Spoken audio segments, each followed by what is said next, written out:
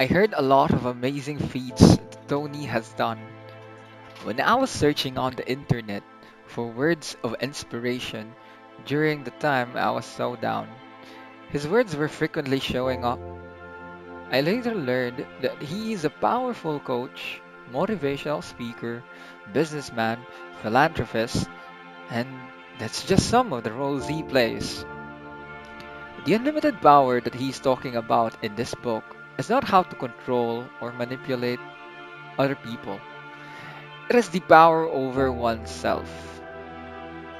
Majorly, how to perform at our peak. I think we all need this.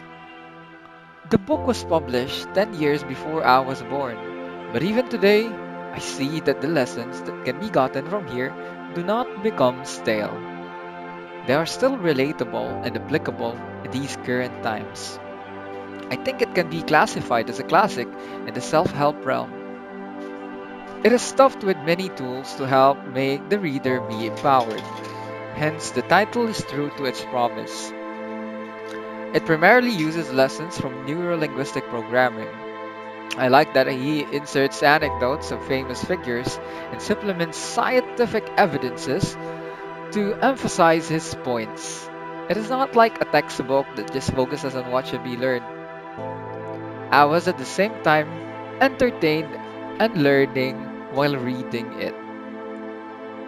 Actually, it was not my first time to encounter the topic on NLP. Before this book, I read a book titled NLP The Essential Guide to Neurolinguistic Programming, written by Tom Hoobyar, Tom Dotz, and Susan Sanders.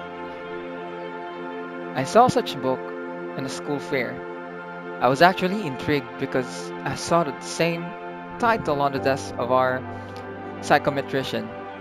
I scanned that book and saw a part where it discusses the posture affects feelings. I said to myself that this perhaps could help me become better too. Then I bought it. Here are some of my key takeaways. Most people take very little conscious action to direct their states. We don't mind much our states, thinking that they are us.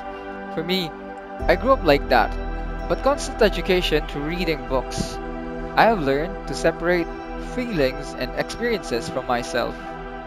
Schools did not teach me such concept. I acquired that I do not need to succumb myself to a negative state and that I have a power to deliberately change if I want to. Why do I need to get rid of negative states? If they stay too long, they may evolve into powerful monsters which can devour and destroy me. Napoleon Hill asserts the same notion.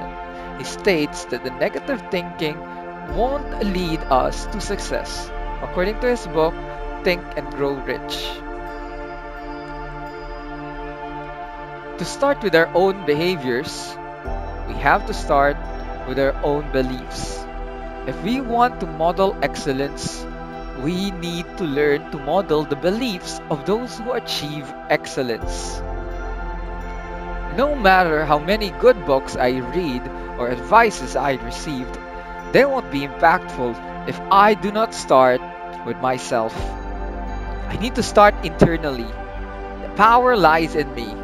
Therefore, should I want to see change, I must first start by changing my behaviors. Indeed, the legendary Batman would agree with me because his stance is just the same. It is not who we are underneath, but what we do defines us. But before I actually change my behaviors, I should start first with my beliefs. As beliefs are powerful, I need to be aware with them and be in control. My beliefs can either help or hinder me in achieving the goals I desire. I must continually cultivate beliefs so I can harvest positive results too. Upon realization, many successful people have positive beliefs and habits. I intend to emulate them for my betterment. I see that such ways are tested and proven already by them. So why not try the same routes? I perhaps can achieve whatever they have achieved, or even more, just like how Tony Robbins emulated the, success the successful Jim Rohn. I believe that if one person can do it, another man can do it too. It is possible. Congruity is the major key to personal power. Congruity means alignment. Whatever we do should be aligned with what we feel. We must not take a half-half stance because problem will arise. To be in total harmony with myself, I should be in tune with, uh, with what I am thinking. For instance, if I feel happy, I should not hide it. I must not try to suppress it so as to create unity with the body and mind. If there is a coordination between two, synchronization shall result. My friend once remarked that he could determine who's a leader or not in a certain gathering. He said that his radar is based on aura. I guess that aura comes from congruity.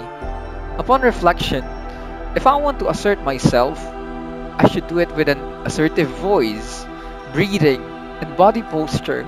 I should not show any hint of hesitance to get the proper response I desire.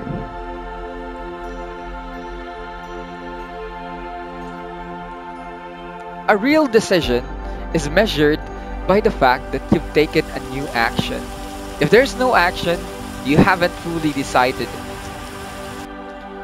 There are times that we have decided what to do already, but still see ourselves in the same old place.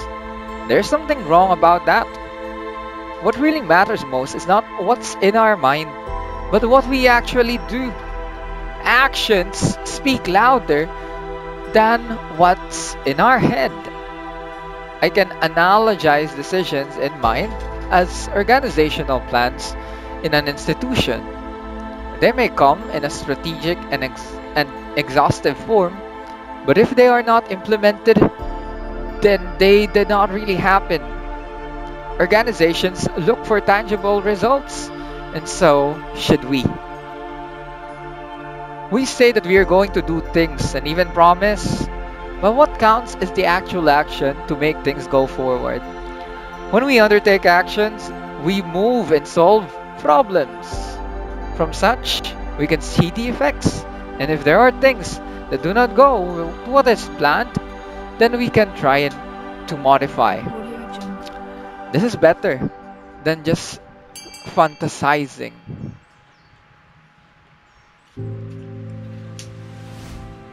In order to truly change, grow, and prosper, we need to become consciously aware of the rules we have for ourselves and others, of how we really measure or judge success or failure. Otherwise, we can have everything and feel nothing. This is the power of values. Values pertain to beliefs that are important to us. They relate to meaning, to our purpose in life. They are from the term itself what we essentially value. Values are what we cherish. However, there may be times that we learned outdated values as inculcated by some forces in society. We need to continually clarify our values hence. Examples of values are friendship, love, and faith. They are called virtues. But there are also values such as pride and gluttony, which are termed vices. Some people may get to cherish evil values which promise pleasure or other benefits. They often lead to pain, however. Therefore, we need to reflect if we possess right values or if there is a need to organize them properly. It is our obligation to ourselves so as to thrive.